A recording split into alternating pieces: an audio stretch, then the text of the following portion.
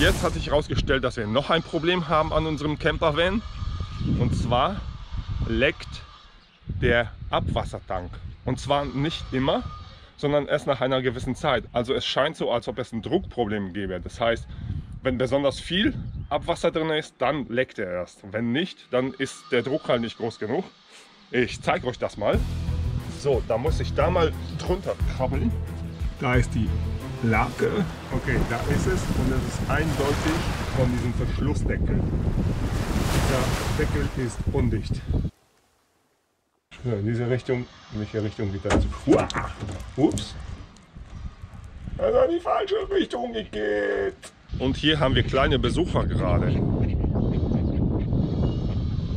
Putzig. Aber ich schweife ab.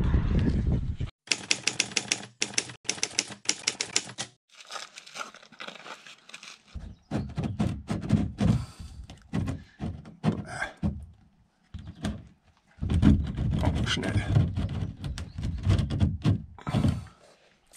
Igitt. Ja. Gut, schauen wir mal. Also so wie es aussieht. Eine Dichtung ist jetzt hier zwar dran, irgendwie sowas. Ziemlich dreckig und die dürfte undicht sein.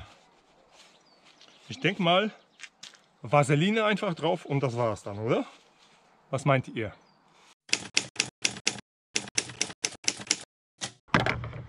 Okay, ich habe das Teil jetzt sauber gemacht und getrocknet. Und jetzt kommt ein wenig Vaseline drauf. Vaseline drauf. Richtig schön verschmieren. Dann wird das schon so halten. Jetzt kann es rein. Das Ganze mache ich hier auch von innen sauber. Da ist natürlich auch jede Menge Dreck drauf. Und das leitet das Wasser auch. Dann mache ich jetzt den sauberen Deckel drauf.